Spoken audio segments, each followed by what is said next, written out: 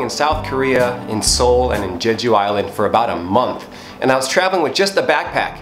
Two t-shirts, two pairs of shorts, two pairs of socks, two pairs of underwear, a laptop and a camera, a toothbrush, the essentials, just a backpack for a month.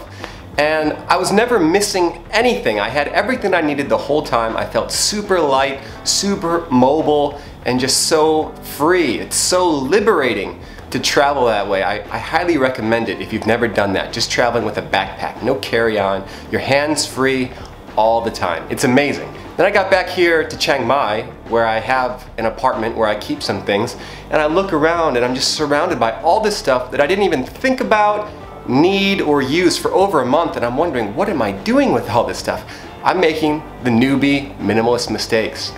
And those mistakes are one, keeping things just in case, you know, backups of backups, and uh, oh, maybe I'll go snowboarding this year, sorts of things. And number two, keeping things that just don't really excite or inspire you anymore. Why would you keep things that don't excite or inspire you anymore when you could give them away or donate them to someone who would really be thrilled to have them? So I got home, I looked at all this stuff, and I just, I wasn't gonna live my life surrounded by these items that I didn't need, I didn't want, I wasn't excited by. So immediately I packed everything up and prepared to give them all away. I have a bag of clothes, I have two pairs of old and new shoes, and I have a green screen and some lights and things when I thought I was gonna be like a green screen video kind of guy. All the stuff that I don't want around, don't need, I'm gonna give it all away.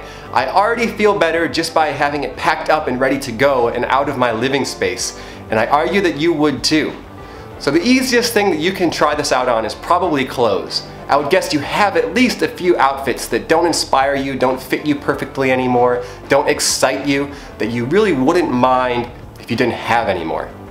Am I right? Something in your closet you haven't worn in a while, something that you'd be willing to give away. So that's my challenge to you, is to get a bag, a decent sized bag, a plastic bag or paper bag or something, and fill it up with stuff that you're willing to give away. Not sell, not put on eBay, not put on Craigslist, uh, not sell to a friend, just literally give it away. It's really easy to do with clothes and shoes, really, really easy to do, I think. Can you do it? Can you fill up a bag of stuff and just give it away and let it find a better owner, someone who will appreciate it more, uh, somewhere where it'll be more enjoyed, more utilized. Can you do that?